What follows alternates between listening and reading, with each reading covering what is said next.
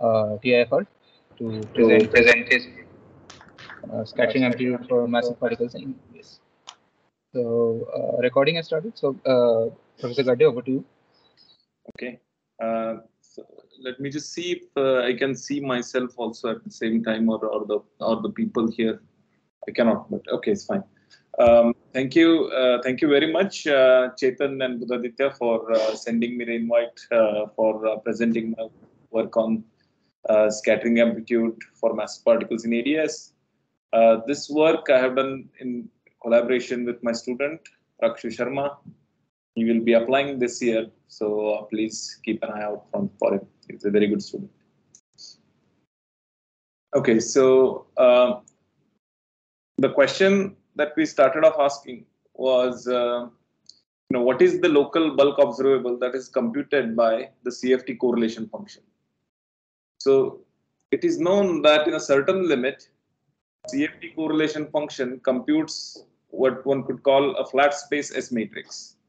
So effectively, you can take a limit of a CFT correlation function so that uh, the dual description of the CFT correlation in terms of uh, a, a bulk Witten diagram gets localized to a particular uh, a particular small patch in ADS, and there the physics is that of uh, flat space.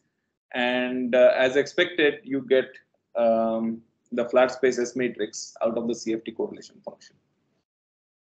So, but of course, the CFT correlation function contains much more information than just this limit. So the question that we are asking is what is the analogous, you know, what do you have to do to the bulk uh, local uh, bulk observable in order to encode uh, more and more of the CFT information, CFT correlation, the information that is there in CFT correlation function away from this limit. So in other words, if you are a bulk observer, you could ask this question basically as how should I correct my flat space S matrix in 1 over R perturbation theory? Because the world that you are living in is not quite Minkowski space, but rather ADS space. And, uh, you know, at a very small, in a very small patch, it would look like a flat, it would look like flat space. So the processes that you will see would be uh, that of the flat space, in particular a flat space S matrix, but uh, you would like to correct it in 1 over R perturbation theory. So these are the curvature corrections that you would have taken into account. And in doing so, you will be encoding the um, information about the CFT correlation function in this uh, one over R perturbation theory. So this is the main uh, uh, question that we aim to answer in this work. So of course, what is relevant here is the flat space limit, and we will be focused on uh, the flat space limit concerning massive particles, massive particles as external particles. So when you go to CFT, you know that a massive particle in a bulk with mass m is given by an operator with dimension delta with their relation between mass and dimensions being of this type. So if you want to take um, a large R limit with mass fixed, that means you also have to take large delta limit. So as you send R to infinity, you also have to send delta to infinity so that the delta over R ratio is kept fixed and that is nothing but the mass of the particle. So this is the limit that we will be working with in CFT. It is a large delta limit. So from a CFT point of view, this is the only thing you can do. You can take a CFT correlation function and take a large delta limit. Now, if you attempt to calculate a CFT correlation function in the large delta limit, uh, this gets dominated by, so, so first of all, a weakly coupled bulk effective field theory. So this is the uh, uh, regime that I'll be interested in mostly during this talk, that the bulk theory is weakly coupled. So I can think of it as uh, in perturbation theory in, in the bulk. And there, let's say the correlation function is calculated by a bunch of Witten diagrams. So in particular, for concreteness, let's focus on a contact Witten, uh, sorry, an exchange Witten diagram. And in the large delta limit, as well, in general, the, the Witten diagrams are calculated by, you know, uh, drawing a bunch of propagators from bulk to boundary to bulk and then bulk to bulk also the way that it is shown in this figure, for example. And then you are supposed to integrate over the two bulk points, which are denoted in the red in this figure. So when you take the large delta limit, uh, this integral lo gets localized uh, to a saddle point. And this saddle point can be of two types. One is where both of these bulk points, the relevant bulk points here, which uh, which have a bulk-to-bulk propagator between them, are localized at the same point, or more accurately, in the small patch, in the same small patch of ADS. Or alternatively, it could also happen that they get localized to different points in ADS. Uh, uh, in, in particular, they get localized to points that are separated by distances of order r in ADS. Now, in this so, latter case, one, one quick question. So, um, if you so the the uh, which of these diagrams is the dominant saddle is dictated by what? Yes, it is dictated by the configuration of four points. So you oh, have points in certain configuration on the boundary. So you can label that con configuration by cross ratios. So in certain regions in the cross ratio space, uh, the exchange diagram where the middle middle particle uh, propagates over long distances dominates, or in certain other patches, um, uh, you know, in the complementary region, it will be this uh, diagram on the left that will dominate. Okay, so in in in in this uh, latter figure, in figure B, by the way, you can see my mouse cursor. Yes. Okay.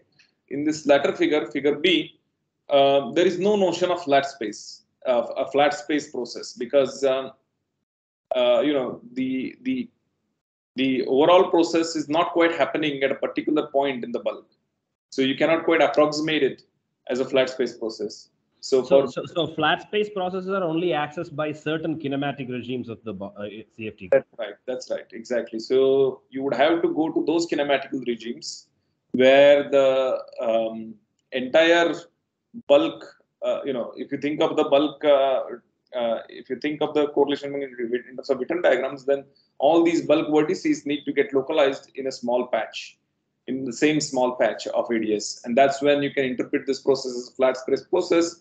And then meaningfully, you can ask about 1 over R corrections to this process. So this is the kinematical regime of points that we will be focused on. So we will not uh, attempt to identify this regime but we will just go to this regime. So one can show that this regime always exists. In fact, it's a large, you know, the the the, the regime uh, of cross ratios where the lateral diagram is relevant is actually kind of a, a, a, a compact um, part of the cross ratio space.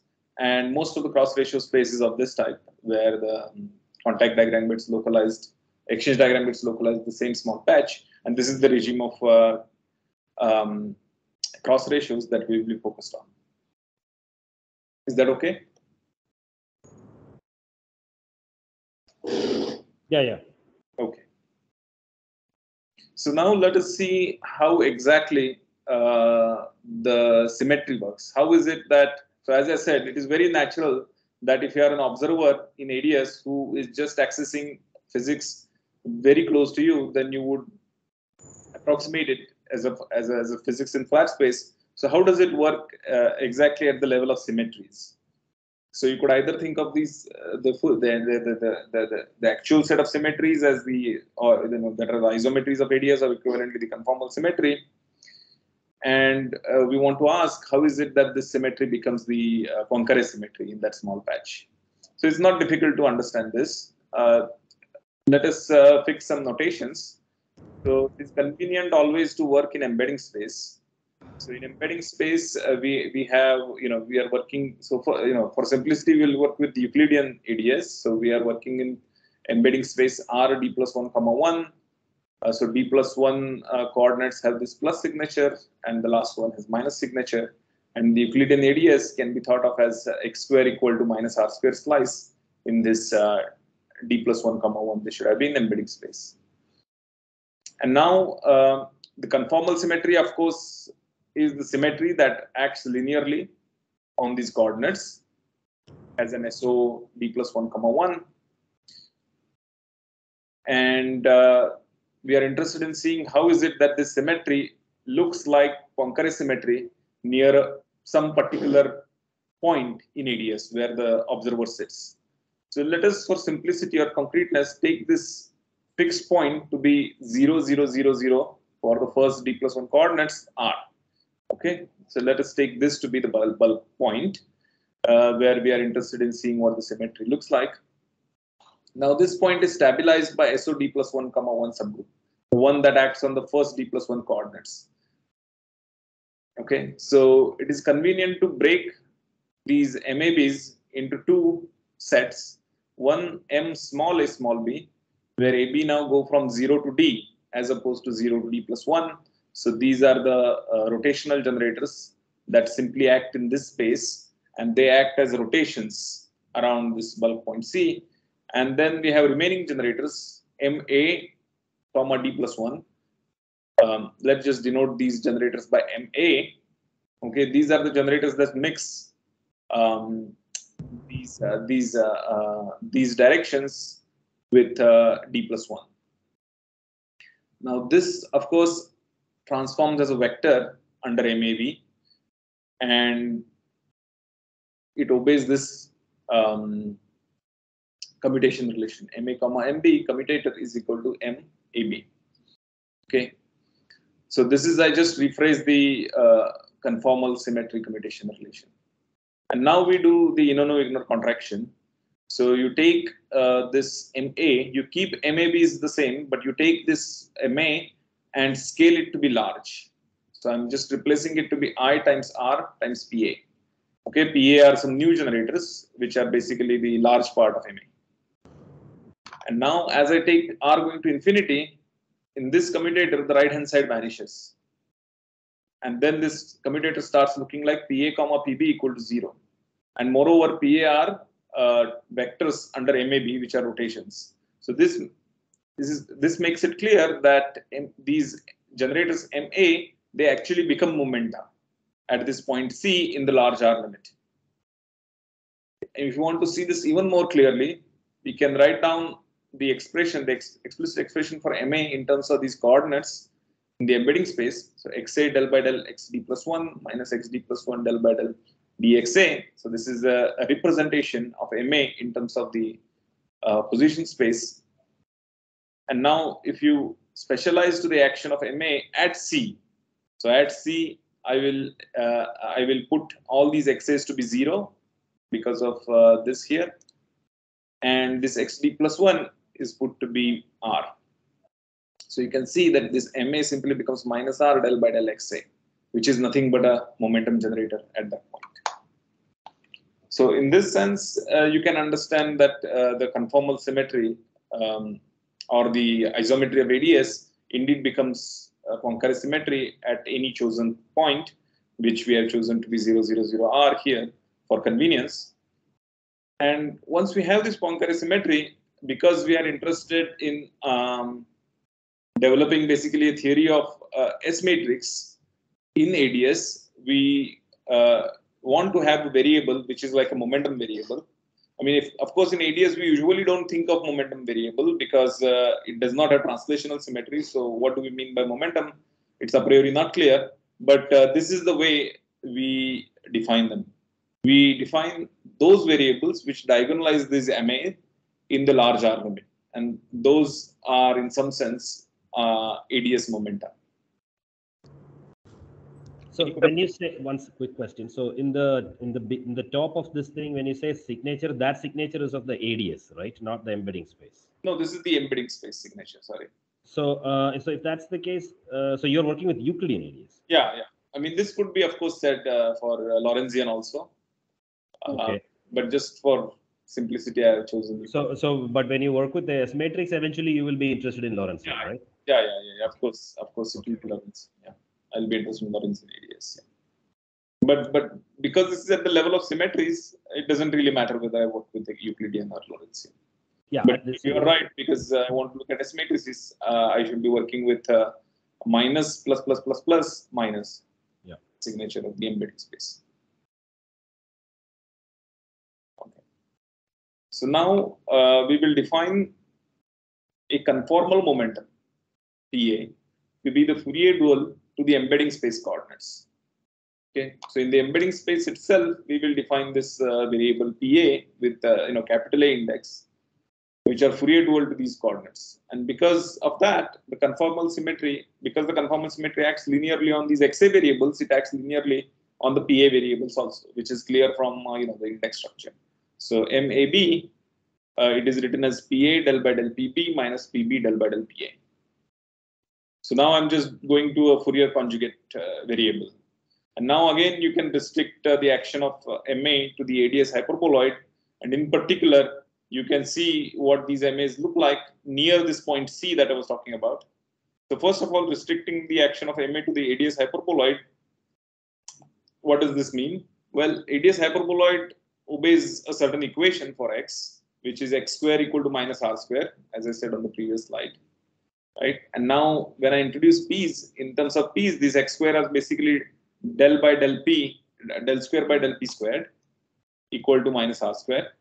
So using this, okay, these MAs can be written like so. And this del by del PA square is nothing but XA square. So at C, this term vanishes and you simply get MA is equal to IRPA. So in other words, uh, the conformal momenta, they become ordinary momenta in the flat patch of ADS near this point C. Okay, so note that this is true only of the first d plus 1 coordinates of this p vector. So the p to begin with has d plus 2 coordinates, but I, what I've done is I've set pd plus 1 to be 0, which gets rid of this factor here. You know, there's a pd plus 1 factor here, which gets rid of, it gets rid of that. And uh, and then the remaining PAs, they become momenta at C. So as I said, I was interested in finding uh, finding variables that diagonalize MA in the large R limit. These are these variables, a PA, because MAs uh, simply become proportional to PA. Okay, so so this motivates this definition of conformal momentum in that if you set PD plus one equal to zero, then the remaining P's they actually become momenta near that point C. So you, you can either work with these, uh, uh, you know, PAs as, as a full D plus 2 vector, in which case all the answers that you will get will be manifestly conformally covariant. But because we want to emphasize the scattering aspect of the problem, we will not necessarily uh, look for manifest conformal invariance. So we will set PD plus 1 to be 0 and and get an expression which has a more natural interpretation in terms of a scattering scattering amplitude. So just to spell it out, because these p's are uh, Fourier conjugate variables to the embedding space coordinates, if you have a bulk correlation function in position space h of xi, let's say for some bulk effective field theory, then uh, the Fourier Fourier transform of it is expressed in this way. Uh, here I put the delta function because I just want to support this integral over um, over the ADS hyperboloid. Now note that this will not spoil the conformal transformation properties of P because uh, this delta function is conformally invariant because only xi square appears. Okay, so this is how you can define correlation uh, in the momentum, uh, you know, correlation function momentum space, bulk correlation function momentum space. In the same way, you can also define CFT correlation functions in this uh, P space. So instead of this delta function in terms of xi square plus r square, we simply introduce delta function wi squared because it's the null cone on which the CFT is defined. Okay. And as you know, uh, CFT is not quite defined on the null cone, but on the projected null cone. So the CFT correlation function are homogeneous functions of W. And as is clear from this formula, that homogeneity directly translates into the homogeneity of P. So as a result, you can fix a gauge.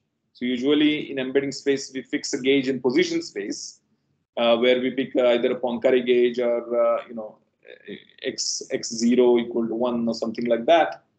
Um, we can also fix a gauge in this uh, p space because uh, g's are homogeneous in p also and we, the way we do it is by fixing its magnitude. So in particular, we can fix uh, p square equal to minus m squared. So as you can see, and this here, of course, we cannot do that, but only here we can do that. So in a sense, what is coming out is that uh, the P's that you define for CFT uh, observables are on shell, while the bulk P's are not necessarily on shell. So this is kind of a nice LSZ prescription that is coming out of uh, homogeneity, you know, the, the homogeneity of the conformal correlation functions. So what this is saying is that if you take conformal correlation functions and do a Fourier transform, they are naturally defined for on-shell momenta, while the bulk correlation functions that we do the Fourier transform, they are defined for off-shell momenta. Is this clear?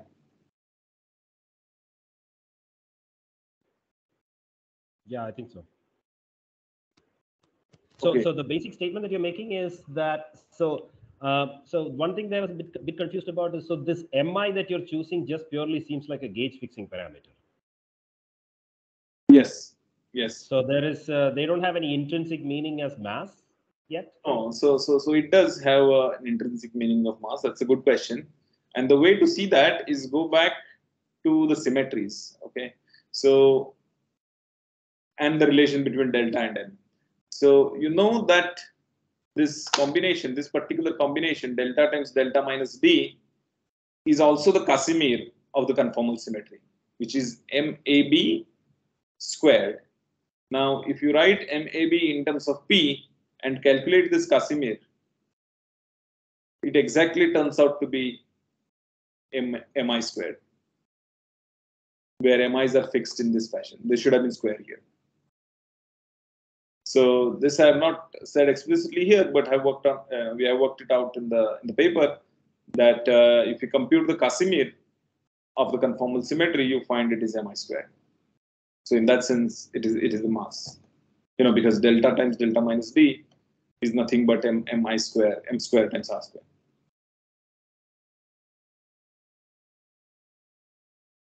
Thanks. Okay.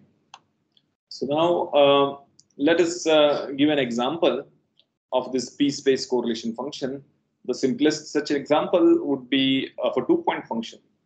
So the boundary two-point function in position space is extremely easy to write, especially in embedding space. So if you have O, W1, and W2, where W1, W2 are embedding space coordinates, then uh, conformal symmetry and conform, you know, and scaling dimension just completely fix the two-point function to be this.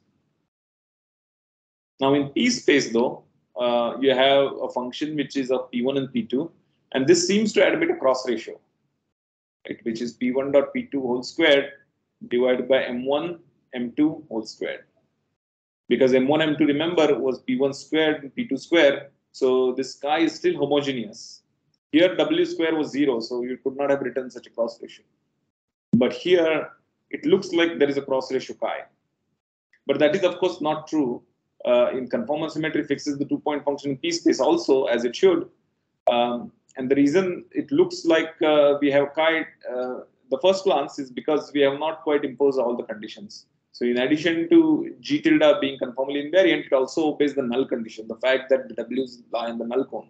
So you have del square by del P squared, G tilde equal to zero. So once you impose this condition also, you get this differential equation for uh, f of chi, this function of cross ratio, and it can be solved to find uh, the two solutions uh, which are in hypergeometric functions below. Now, again, there is a confusion because in position space you had only single expression w1 dot w2 minus delta 1, but in, in p space you are finding two solutions. So what is going on? So as I said, uh, this p space correlation function is defined as an integral over null cone. Now, null cone has two parts. Um, there is a future part and then there is a past. Now, you could have supported this integral on either, and either would have given you a, correla- uh, a conformally co- uh, covariant, a conformally invariant uh, correlation function. So we have not quite specified that here. We could have specified it here, but uh, you know, particularly when we do this, we have not specified it. So we are getting these two uh, solutions and one linear combination which basically corresponds to integrating just over the positive null cone and the other linear combination corresponds to uh, the future null cone and the, the other linear combination corresponds to integrating over the past null cone. Uh, Sorry, my sharing was paused. Has it resumed now? Yeah, think so. Yeah, yeah. Yeah, I think it's the hypergeometric function. Equation seven is what I see. Yeah. So suddenly something happened on my, on my computer and then my window was lost. Um, okay. so here I've, you know, computed this uh, correlation function exactly in the p space. Um, but as I said, these p variables are, you know, the power of p variables is not really in in in in in computing exact expressions. Those p variables are defined because they have a nice interpretation as momenta near this point C. Okay, so when you set PD plus one equal to zero in particular. So let us let us compute that in one over R perturbation theory. Okay. So I'm going to just rewrite this expression here, this uh, this Fourier transform, but now just expand around this point C. Okay. So I have set again PD plus one to be zero, and I get this expression. Um, and now this expression is calculated by a saddle point because this delta is large and there is a, you know, because p's are large, there is a, there is a, there is a uh, factor of r here in the exponent. So it is clear that this is calculated by a saddle point and you can see that the saddle point is this. In particular, you can solve this equation for W1 and W2 uh, when W1 plus W2 are, is zero. So W1 and minus W2 star is equal to minus i p1 divided by m1. Okay, so the saddle point only exists in this case. So this means that the in the dominant contribution for this integral, you know, of course, you can calculate this integral for any value of p1, p2. The point is that you get the most dominant contribution only when p1 plus p2 is equal to zero. That's when you get a, a, a saddle point contribution. So this makes it clear that, so what this is telling us is that this uh, two-point function is proportional to delta function in P1 plus P2.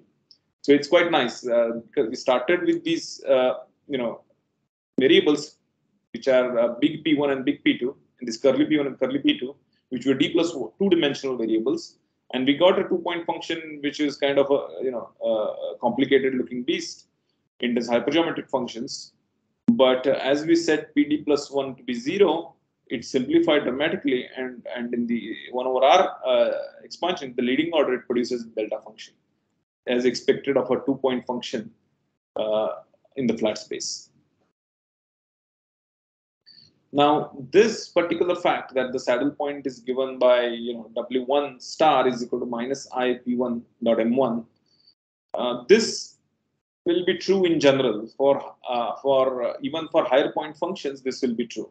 That when you do a saddle point, uh, when you do an integral over the boundary point, it will be dominated always by a saddle point, and that saddle point will be proportional to this momentum that we have defined, this p, uh, this uh, non uh, non curly p, this uh, only first d components, d plus one components.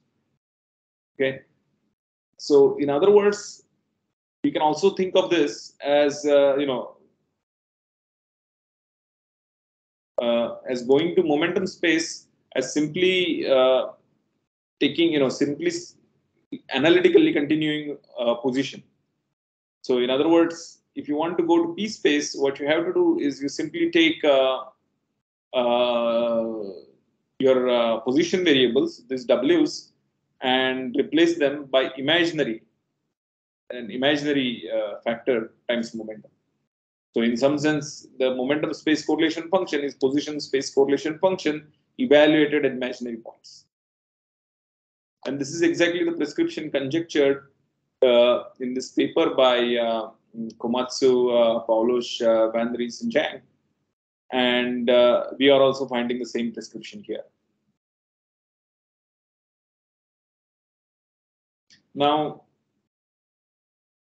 rushing a little bit, let me just uh, claim that uh, you know you can do this uh, procedure and compute both bulk to boundary propagators. So here, in some sense, this was a boundary to boundary propagator, but you can calculate bulk to boundary propagator as well as bulk to bulk, as well as bulk to bulk propagator uh, propagators. in this uh, 1 over R expansion, and they both agree with their flat space counterparts in the leading order, at leading order in 1 over R. Of course, they will have corrections at some leading orders, but at leading order, they simply agree with flat space counterparts. So in particular, the bulk to boundary propagator will be e to the i p dot z, where z is the where z is the uh, bulk point in the vicinity of c, and the bulk to bulk propagator in p space would be 1 over p square plus n square multiplied by the delta function plus you know corrections. This is the form that they will take.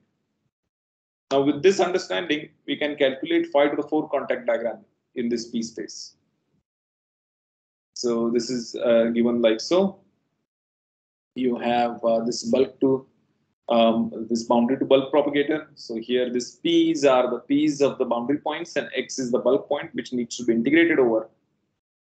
And this uh, this measure of integration, um, it looks like this in the vicinity of this bulk point c. And now, because this simply is e to the ipx, as I said, so so in at leading order, the, the way I've defined it at leading order, g function becomes one. So the bulk to boundary propagator is just e to the ipx, and uh, and of course this goes away at leading order because this is large, so r are cancelled like that. So you simply get a delta function, right? As expected. So what it's saying is that if you have phi to the four contact diagram in p space um, for a bulk local observer, it looks like a delta function contact diagram, which is true because a phi to the 4 contact diagram in flat space would give rise to a delta function, just a simple 1 times delta function as the scattering, as the scattering amplitude. But of course, uh, there is much more here. This is what I was alluding to in the first slide that, uh, you know, the actual correlation function has much more information. In particular, you can do a 1 over R expansion of this bulk boundary propagator and also of this uh, measure factor and get uh, further corrections to this delta function. But now, when you compute these 1 over r corrections, you will get factors which will have x, explicit x in them. And when you have x in it, not just some function of p, then you don't necessarily only get delta functions, but you also get derivatives of delta functions. Now, uh, this is not unexpected because, of course, in ADS, you don't have translational symmetry, so you don't expect to get momentum conserving delta function. But the nice Uh, uh, uh, nice uh, property of these variables is that this momentum conservation failure can be in, you know systematically um, you know organized in one over R perturbation theory. So in, in, in other words, at the leading order, you will get a delta function. At the next order, you will get delta function and let's say one derivative of delta delta function and at, the, at the next order you will get delta function one derivative and the second derivative and so on. So all this uh, failure of momentum conservation gets nicely organized in this one over r perturbation theory. Now what is more is that uh, this delta function uh, is a consequence of uh, uh, uh Poincare symmetry. But of course the actual symmetry is not Poincare symmetry but rather conformal symmetry. So whatever this object is must be conformally covariant. And it turns out that using conformal ward identities of MA, you can indeed fix the terms that are proportional to derivatives of delta function. So let's say you give me all the terms that are proportional to delta function, then using conformal ward identity of MA, you can compute all the terms that have derivatives of delta function in them. Okay, so bottom line is that the only non-trivial information in this uh, momentum space correlation function in the one over R expansion is the are the terms that are proportional to delta function only, because the rest can be computed using uh, conformal identity.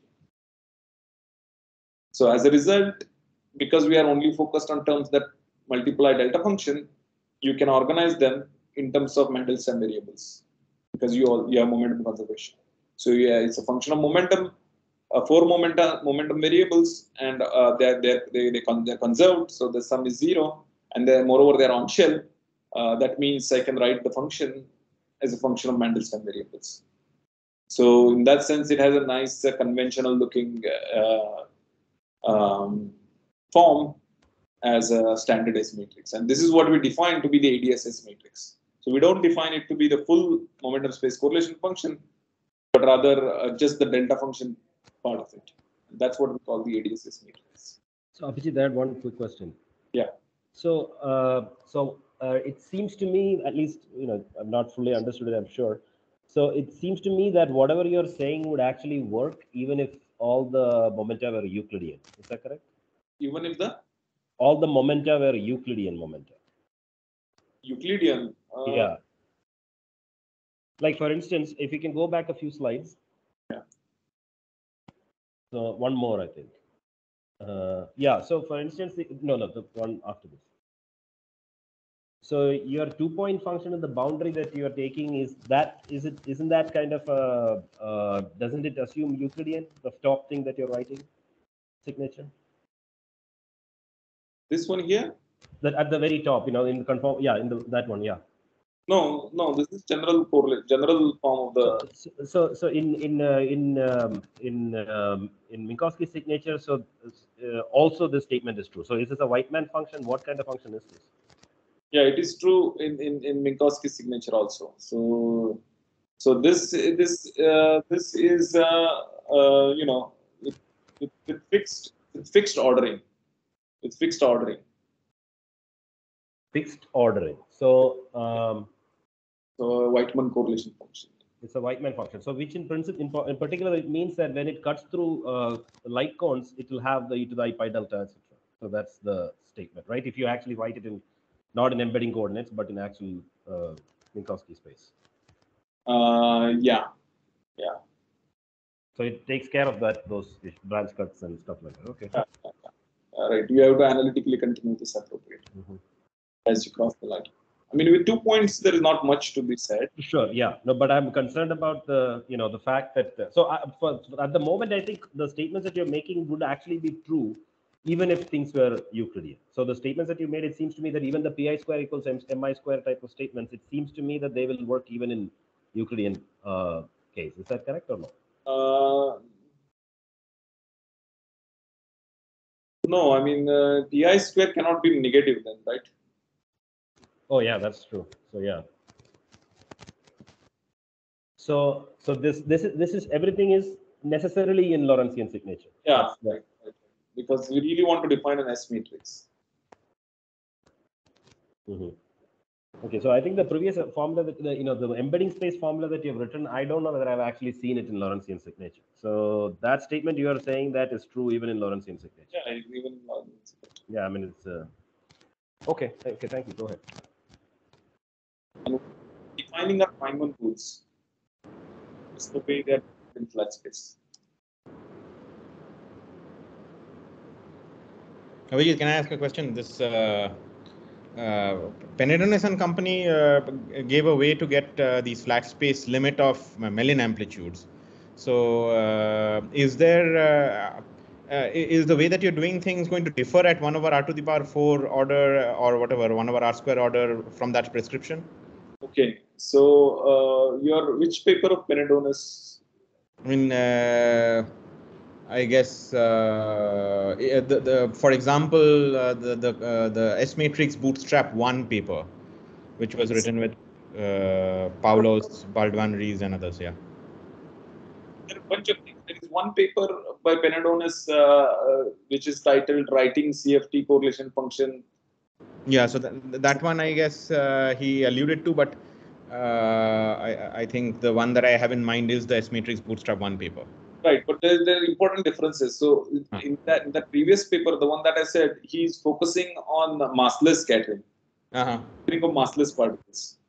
Okay, and there you cannot take limit the limit that I'm talking about. Okay. Okay, because uh, the, here the limit of CFT correlation function that is relevant is large delta. Okay. That's how you can fix the mass. But if you are working for massless particles, you don't want to scale delta with R. Right. You want to keep delta finite. And then the question is, what is it that you are doing in order to kind of uh, zoom into a small patch?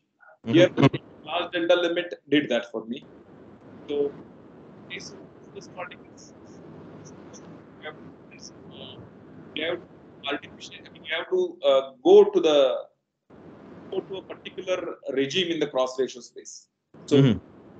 what's called the bulk point singularity. So you have to go to this other sheet, Mm. Sheet. There we have to set z equal to z bar, and you see a singularity there, and the coefficient of that singularity is the S matrix. Then Penedones reformulated that statement in terms of Mellin amplitude in that first paper. Mm.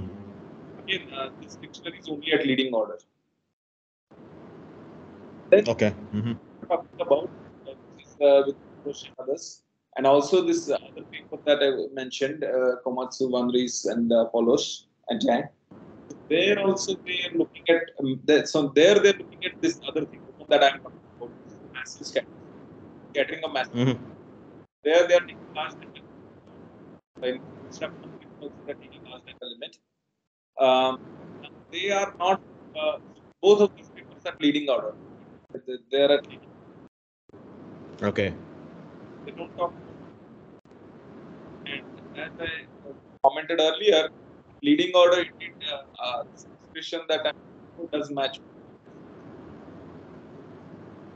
I see. Okay. Okay. Thank you. What we are doing here is a because of these the way we are introducing these variables, we are able to calculate uh, corrections to this also. And then to, to address your uh, last point, we will also talk about uh, how all this relates to Mellin space. Okay. Thanks. Where By the way, do you mind uh, speaking into the speaker? You're getting cut once in a while. So, uh, so, okay, I don't know where the speaker is, but okay, I will, I'll just uh, move forward a little bit. Yeah. Thanks. Make this is better. So, um, so yeah, at leading order in Mellin space also, this prescription will match with the S. Hmm. Um, but then there will be corrections as I, as I will talk about. Okay. Thanks. Okay, uh, fine. Okay. So, okay. So, so in this particular case where we computed phi to the four, um, the S matrix, the ADS S matrix is one at leading order, and then it has corrections. Uh, it just so happens that the next order correction vanishes in this case, but if you consider Witten diagrams, uh, which are contact diagrams with derivatives, then they do have non-trivial corrections at 1 over r square order. This is the next order, not 1 over r. Now, why is this quantity useful? This is a new quantity that we are defining that we are calling the ADSS matrix. So one reason is that because we are in momentum space, and in momentum space, uh, we are very good at computing various uh, physical observables using Feynman rules in flat space. So what what uh, because of these because of the because, so these variables basically reformulate all the Witten diagrams as Feynman diagrams plus one over r corrections around those Feynman diagrams. So so what we will do now is we will give a set of Feynman-like rules um, which will agree with Feynman rules at leading order, but we'll have one over r corrections to the Feynman rules. And using those rules, one can compute ADSS uh, this ADSS matrix in one over r perturbation theory. So you can use this, for example, to calculate loop diagrams also. So in general, you know, they are difficult to calculate because you actually have to work in position space and integrate these uh, uh, bulk coordinates, and that can be cumbersome. But in, in momentum space, you can use momentum conserving delta functions to a great effect and calculate this.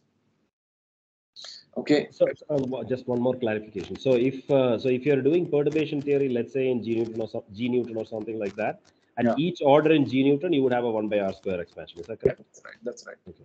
So given contact diagram, I will have it.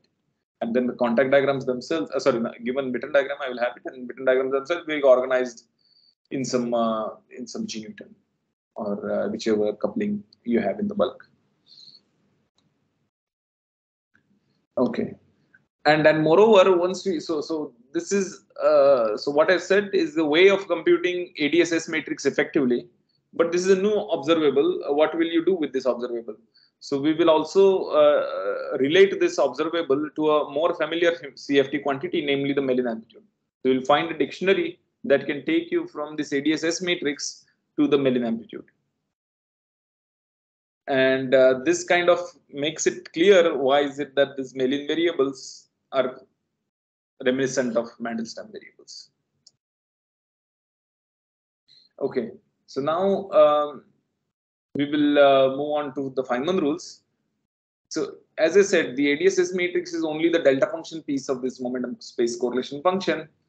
Um, so even though we are interested in the delta function piece, the individual elements in the Feynman diagram, such as the external legs, the internal legs, and the vertices, they need not be proportional to delta function because you can have a little bit of momentum violation at one vertex cancelled, you know, which, which gets cancelled by the momentum violation at the other vertex, giving you the overall momentum conservation.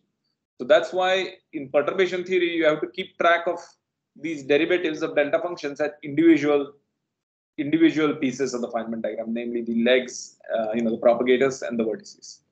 Okay, so we will devise a way to keep track of those uh, uh momentum violations. And the way we will do that is we will uh, write those terms as coming from some injections of extraneous momenta. And then we will differentiate with respect to those injections. Uh, so we will now show how these rules work for propagators and we can use it for computing exchange diagram to a subleading order. So the propagator, uh, let's say the bulk to bulk propagator schematically takes this form. You have some function f, p, x. So all these functions are, uh, you know, uh, given uh, in concrete form the paper. So here I'm just being schematic. So this um, uh, bulk to bulk propagator from momentum p to p prime is given by an integral of this sort. Okay, and at leading order you don't have any x in this f, um, but at subleading you do.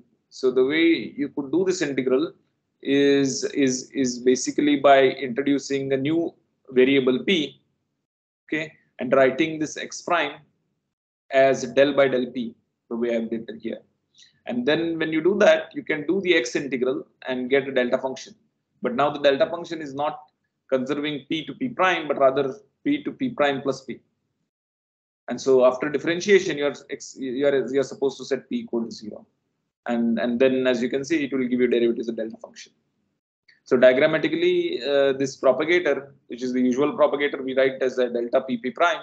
It will be replaced by this kind of a propagator where you have some injection, which uh, uh, injection of momentum, which models momentum violation momentum uh, non-conservation. And this all will be in perturbation theory. It's not like suddenly at 1 over r square order, you will find uh, many, many derivatives of delta function. So at, you know, at moment of, at 1 over r square order, it will be violated only a little bit and then more and then more and so on. Okay, so that's why you can end up organize it in this uh. And similarly, you can write down a bulk to boundary propagator in this form and bulk to bulk propagator in this form. Okay, so as you can see, um, at leading order, this g function goes to one, so you don't have this derivative here, and uh, this is just a overall constant. So when you don't have derivative, you can just set sigma to one and get the delta function. And the next order, you will have some derivatives. And the bulk to bulk propagator also um, this GBB also it is defined such that at leading order this is one. So when it is one, uh, after setting alpha and p to be one zero, you get just delta p p prime divided by p square plus m squared, which is what a bulk to bulk propagator is, is internal propagator.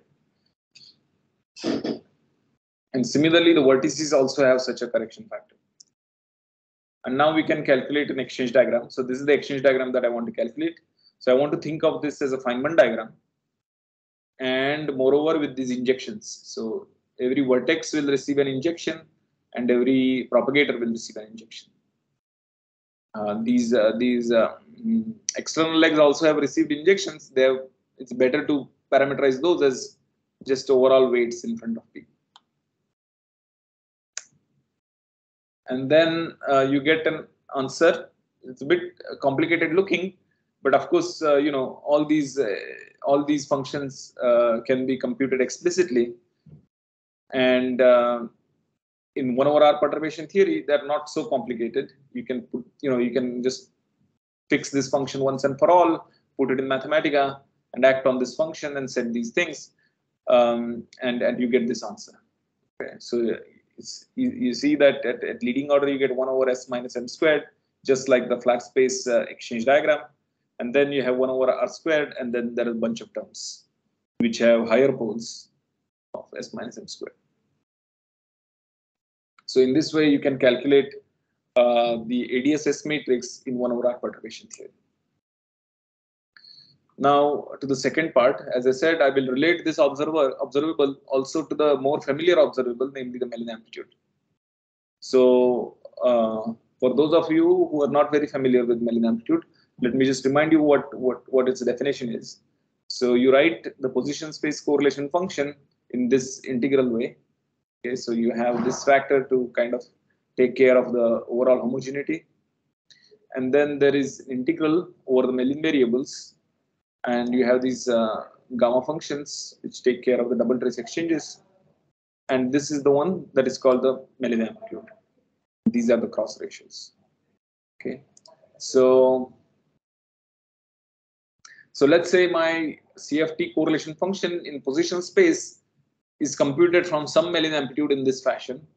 And uh, Abhijit, uh, just uh, just a simple consistency thing. Well, I'm I'm sure you must have done it right because I mean you're saying that these are the like the rules for the propagator and so on, and you can calculate the one over r corrections in, in the systematic manner.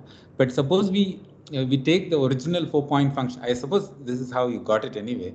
Uh, the four point function, you know, uh, the one which you calculate using the bulk boundary things, and then com compare the final answers they're guaranteed to agree, right? I mean, you you take the you know the, the ADS bulk to boundary propagators, fold it with the three you know the three vertex, and integrate it in the bulk and so on. You, Yeah. uh, and then you look at the expansion in the large R. They're supposed to agree. So, so when you say that take the original answer, you mean in position space. Yeah, in position space. Yeah, in position space. Right. So this answer is calculated in momentum space. Uh-huh. So you Uh, also have to kind of go from position space to momentum space in order. to transform it and uh, Yeah, exactly. You transform it. So in fact, these rules are derived using that. I mean, you know, that. So they're guaranteed to agree. I mean, yeah, that, uh, guaranteed to agree. they're guaranteed to agree. Exactly. Right. uh, Yeah. There's no like, uh, I mean, other tests other than, I mean, of course, you design the rules so that they, they come out to agree, right? Yeah. So, Yeah. yes. uh, Well, um, yeah. I mean, there are some checks, okay, of the nature that you have described. Uh, in particular, when you go to Mellin space. So what I will do is I will give a way to connect this ADSS matrix to Mellin amplitude. Okay. Okay, and once you go to Mellin amplitude, there it's it's it's easier to check because many of you know exchange diagrams etc. They have an explicit Mellin representation, and at that level, it's easy to take the large R limit and see whether in the large R limit it reproduces this uh, Mellin amplitude that you get via ADSS matrix, Okay. Okay. and then they indeed match. Okay. Thanks. Yeah, I understand. Okay, so now uh, I have this uh, CFT correlation function position space. And uh, the question is, what is the ADSS matrix corresponding to this? So finally, I want to express this as some functional of the Mellin amplitude. Okay, so let's let's uh, go through these steps. So the first thing I should do is to construct the, you know, construct the momentum space correlation function by taking the Fourier transform like so. And then it has uh, two integrals. There is a W integral, and then there is this uh, d sigma d tau integral. So let's first do the d sigma d tau, this uh, sigma tau integral. Now this integral is also done uh, in, uh, um, so here, so now while, while we do this integral, we will assume that the Mellin amplitude does not scale exponentially with R. Okay, so this piece here, it does not have e to the R factor. And if this is so, then you just have this, this, and these gamma functions, uh, which contribute to e to the r factors. And then this can be done using saddle point. And because the, uh, and then the, so let me say the saddle point is, is given like so in terms of the cross ratios. Okay. And because the m does not contribute to the saddle point, it simply comes out of the integral. So you just have m evaluated at sigma star tau star. So it does not play any part in the sigma tau integral. So it's as if it was one overall constant. So you can think of it as an overall constant times one. But now one, you know what this is. One is nothing but a phi to the four, you know, the, the correlation function whose Mellin amplitude is one, eh, basically the one that is obtained from phi to the four contact diagram. So what this becomes is a phi to the 4 ordinary contact diagram. Now this interpretation is useful for the next step when we want to compute the uh, matrix from this. Okay, I mean, of course, you can just do the uh, saddle point uh, blindly, but the way I'm saying it, it, it turns out to be useful uh, to carry out the next step, which is to change this position space observable into the ADSS matrix. So the way I'm saying it is that you you compute this S matrix, uh, uh, compute the uh, saddle point, and you evaluate this M at that saddle point. Once this once you have this M sigma star tau star, it doesn't quite contribute to the saddle point itself. So it, the saddle point doesn't depend on M. You just have M sigma star tau star. So it comes out of the integral. And then this is just the phi to the 4 contact diagram. And for that, we have already computed the uh, uh, computed the ADSS matrix. Okay, so this is what is said here. So you get G of W is equal to G of this contact piece times M of sigma star tau star. Okay, and now when you go to momentum space here, you can you might as well just use the fact you know use the thing that you you know already from here. And this uh, ADSS matrix of phi to the 4 contact diagram can be evaluated straightforwardly. Uh, and it is dominated by saddle point, which is W at IPI, you know, W at IP, IP divided by M, as I said earlier, that gets a saddle point, uh, which is of this form. Now at next order, um, when you do the sigma tau integral, you want, you're interested in say 1 over r square order, then this, uh, you will get a derivative of the Mellin amplitude also which will multiply uh, explicit factors of sigma and tau. Now, when you evaluate this on the saddle point, you can pull the overall constant out, but these explicit factors of sigma tau, because the Taylor expansion, will remain. And those factors are nothing but the factors that come out of derivative contact diagrams. So in this way, you can say that at 1 over r square order, what you are getting is uh, is a, is a ADS matrix for a derivative contact diagram. So using using that, you can explicitly calculate it. The Feynman diagrams that we developed, you, those are well suited to calculate, you know, contact diagrams, and you can calculate uh, those coefficients uh, very if, if, effectively. So in this way, you can calculate higher order things also. So this is what I say here. And I should say the sigma star tau star, when you replace these W's to the IPI, they can be written in terms of the uh, Mandelstam variables, and you get this dictionary. And this at leading order indeed does agree with the uh, with the paper that I mentioned earlier. Okay, and uh, also, you know, you can compute uh, the uh, next higher order corrections. You can compute higher order corrections uh, and obtain a relation between the ADSS matrix and the Mellin amplitude in 1 over R perturbation theory. Now, this ADSS matrix, it has, you know, for, for some contact diagrams, it has only correct, it has only, it has corrections in powers of 1 over R square, okay? But the Mellin amplitude also has corrections in powers of 1, it has corrections in powers of 1 over R. In particular, this means that the subleading Mellin amplitude, M1, should just be constrained from M0 and you get this type of constraint because you don't have any corrections coming from the ADSS matrix side. So that means the 1 over R correction must be constrained in terms of the leading order. And this is the form of this constraint. Now, you know, it is kind of surprising that any Mellin amplitude should satisfy this constraint. Any any Mellin amplitude that that uh, does not scale like R should satisfy this constraint. Right? If, you, if someone told you before uh, that there should be constraint of this type, you would be surprised. But but it is indeed true. We have checked this uh, for scalar diagrams uh, that this this constraint is indeed indeed indeed indeed followed. And then you can calculate uh, higher order corrections also, as I said earlier. So in this way, uh, these uh, these ADSS matrices make connection to a more familiar CFT quantity, which is the Mellin amplitude. And moreover, there is a nice, uh, simple, uh, you know, relatively simple way of calculating these ADSS matrices. So now I'm at my last slide. Uh, I'll just uh, give some outlook and then conclude. So, so what our work aimed to do was to give a momentum space for ADS and uh, you know which would be used for which will be useful for uh, simplifying uh, Witten diagram calculations uh, in the in in NES. And once we have this momentum space, there are many momentum space type questions that one can ask in flat space. Almost all of them can be asked in ADS. So, for example, uh, unitarity constraints in uh, in flat space uh, they are widely explored. Of course, and also in ADS, not so widely, but but yeah, um, to some extent. But uh, many of these unitarity constraints in flat space are uh, ex expressed as Cutkosky's rules. So, you know, what can we say about Cutkosky's rules in ADS? You know, quote Cutkosky's rules, uh, you know, in this P space. Also, in flat space, there are many interesting relations that the scattering amplitudes obey. There are these BCFW recursion relations. There are double copy relations. Uh, there are twistor string theory, amplituhedron, EFK hadrons. Many, many interesting structures.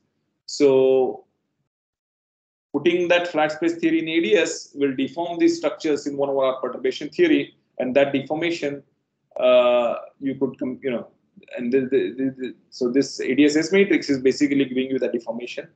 So it would be nice to see whether you know how many of these properties survive this deformation, and this integrability type of deformation. And uh, here I focused mostly on massive particles. In response to Ananda's question, I kind of uh, uh, emphasized the distinction between uh, uh, considering massive particles and massless particles.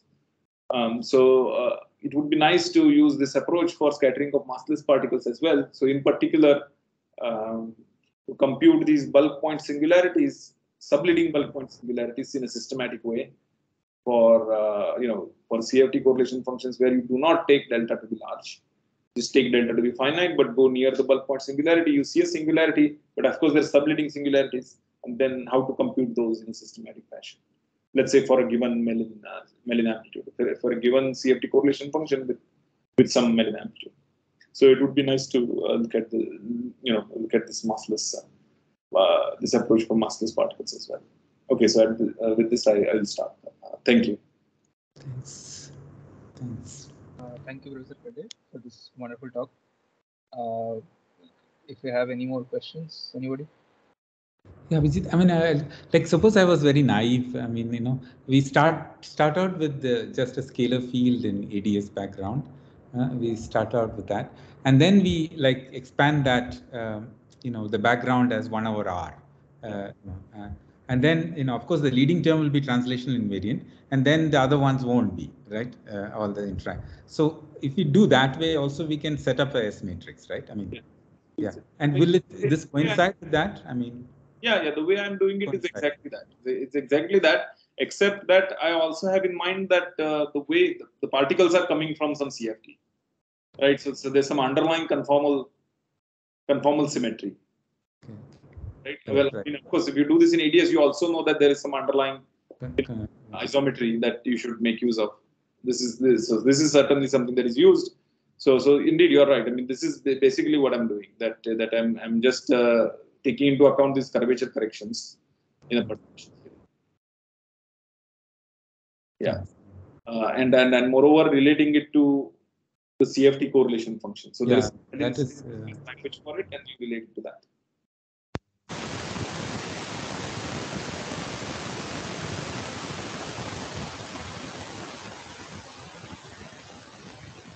Uh, not audible.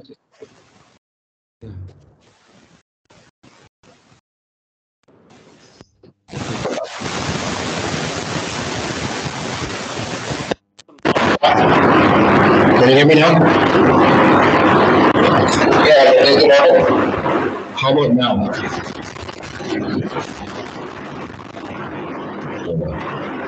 Can you hear me? Hello?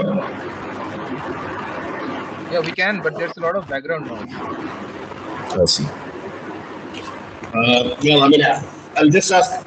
So, just one. I'll quick I'll ask one one quick question. Um, so, in your uh, so at each order in perturbation theory, you are saying that the things which are breaking the delta function can be obtained from the th pieces which are proportional to the delta function. Is that yes. did I understand correctly? That's correct. Okay. So and uh, uh, so the one more. Uh, yeah. So So I, I'm still confused about the signatures. So in the in, in your calculation, for example, where ex- uh, so if you if, you put in so uh, this is you know something that probably the Mellin space people will know uh, you know much better. I don't have any idea. So in the so I thought that the Mellin space is basically like a you know a Mellin transform effectively of the Euclidean correlation function. Is that correct or no? No, I think you can do it for Lorentzian correlation functions also. I mean, these are analytic quantities. You just have to keep track Yes. of branch cuts. True, true. So, uh, so essentially, my point is that the as long as you have the um, the uh, once you have the the correlation function in the CFT, the operations that you're doing in the bulk will essentially go through for all these constructions. Is that is that the right way to think about? it? Yeah. Okay. So, um, so in which case, I have a question related to this one of the transforms that you wrote. Okay. Uh, you know, in the f- uh, early slides, one of the early slides. So, like, I think the first place where you wrote down this uh, Fourier transform thing, thing with the delta function. Yes. So this looks very similar to me in my mind to uh, some of these, uh, you know, Pasterski-Shao type transforms, right? In the in standard, in in uh, flat space S matrix uh, constructions people have written, where they take these things, uh, but it's a it's a this this object that you're writing essentially, I would imagine that this is almost identical in a slightly uh, embedding space language of what Pasterski-Shao's uh, transform is. Uh, But that's it. Yeah, go ahead. so, so if I remember, okay, I don't know which uh, transform you're referring to, but uh, let's see. So there is a there is a one which, so so there in celestial holography, what one is interested in is uh, you have some scattering process in four dimensions, which will be like embedding space. Let's say in this case, and you want to describe this as some CFT correlation function on the celestial sphere. So you want you parameterize your momenta as some angular direction with some energy. So Right. what? Yeah. So what you do is that uh, delta with the Mellin transform. right. So this That's the one you're referring to. yeah. I'm I'm I'm I'm talking about the fact that mathematically I think they might be identical. So uh, especially this this this this object that you've written in uh, equation five. They seem uh, they write it in a kind of a not so obviously embedding uh, coordinate language, but I think the ob- object might be identical. The difference, of course, is that you are trying to get it from CFT, and uh, the thing that they are trying to do is, of course, uh, the interpretation is very different.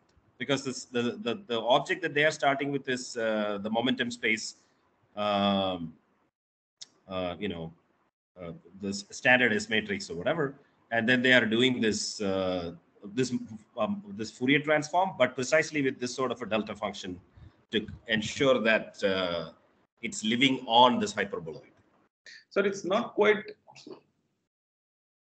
I'm not sure whether they're doing the Fourier transform or this, uh, you know, uh, omega to the power delta kind of transform.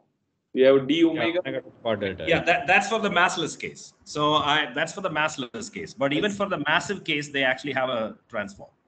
I So see. and so so in, in the role of your r square here will actually be taken by the mass of the particle. So it's a it's a I'm saying that mathematically they are isomorphic, almost isomorphic, I would imagine. Yeah. But uh, the it's in written in momentum space, and this e to the ipx that you have there is basically what they would call their wave functions. Hmm.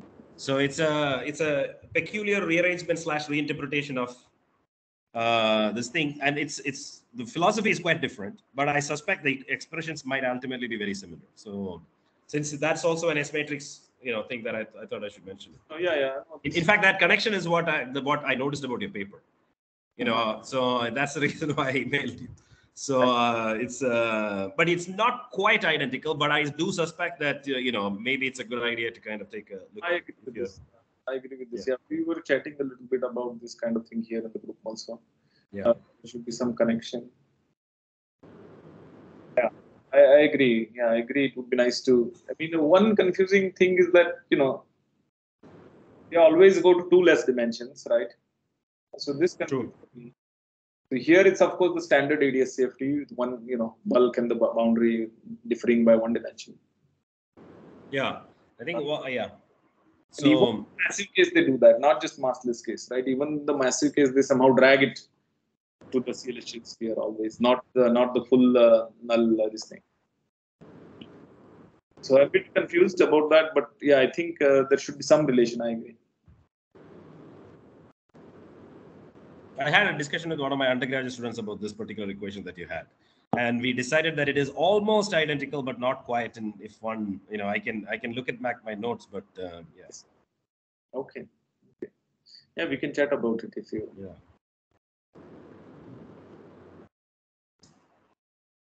Abhijit? Anyway, yes, yeah. So that's it from my Yeah. Can I, can I ask you a question? So, um, in- in this uh, S matrix bootstrap paper, uh, uh, Penedones had given a prescription of some sorts which relates the Mandelstam variables to the Mellin variables in a 1 over R expansion. You know, one over R expansion or at leading order? No, they uh, they gave the first subleading term uh, uh, from what I remember. I mean, in principle, at least, uh, there was a 1 over R correction to the, uh, to their map. So is that worked out in your paper somewhere? I was trying to look at your paper, but I couldn't see where the 1 over R correction. I, I need to look at that. I to, so this is in this uh, bootstrap uh, scattering bootstrap scattering amplitude bootstrap Yes. kind of paper. Yeah, let me just uh, draw it up. I can point out where it is. Uh, yeah. So this is. Uh,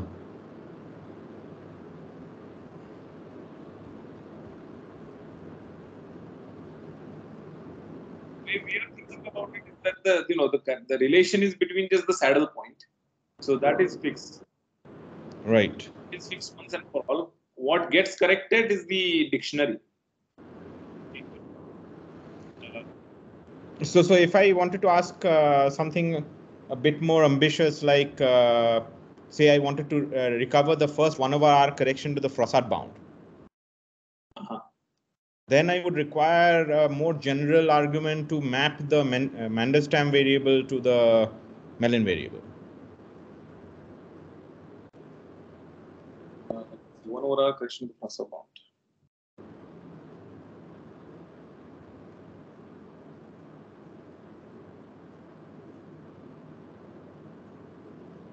But you would need to know about the Froissart bound, right? In ADS, I mean, uh, Yeah, so that uh, at least in leading um, at leading order it works out. Uh, but to get the one over R correction, uh, one would require to know the correction to the map between the variables. But the way that you presented it, it seems like you require to know the bulk uh, uh, bulk vertices uh, to work out the corrections. no, no, no. So, so, so that the way I did it is, is, is if you know a particular bulk effective field theory, you can calculate this ADSS matrix. Uh-huh. But if you did not know that, you just need, if you just knew the Mellin amplitude, Uh-huh. then also you can do this. Okay. So if you give me a Mellin amplitude, then I can calculate this S matrix. It is, and vice, Including the subleading corrections in one over R. including the subleading corrections. Yeah.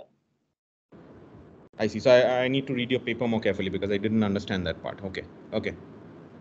No, uh, actually, uh, so just to uh, uh, continuing on Anind's point, so this eight matrix bootstrap paper one, they actually give a, a conjecture formula precisely for massive uh, scatterings. Now, they also take you the same limit, like this delta taking to be infinity and also r to r to be infinite. I'm not sure so if I'm that because we have worked on this, we always consider the leading part of that. But I believe that if you just take a general MST and takes, you can also try to take some subleading part of that also. I guess. So, yeah. So what I feel is that uh, that should uh, reproduce your. It may have some connection of what you have. Put, in my opinion. Yeah. Do, do they talk about this uh, corrections, uh, the subleading corrections? No, no, no. They don't talk about. But what I feel is that, of course, they are always taking the leading, uh, leading thing. They do not, uh, care, they do not study the subleading. But the limit, the limit prescription that they give is quite general. It's uh, yeah. So it seems like that. Yes. Also, also, there's a recent paper by one of one of Simon's uh, Simon Caron-Huot's student who has actually kind of proved this thing. I think using this saddle point technique was proved this formula. So I think yeah, that can have some connections.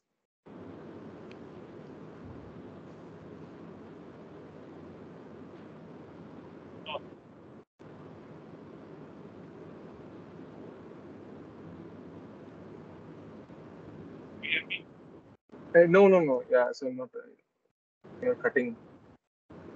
I was, I I was asking who, who is the who is the author of this paper?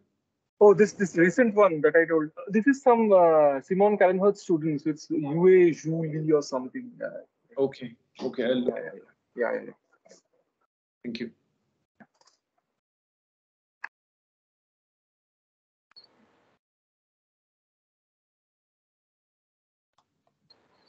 So any other questions? Anyone?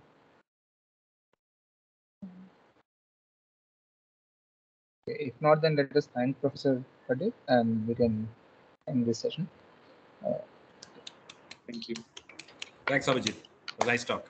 Yes, Thanks.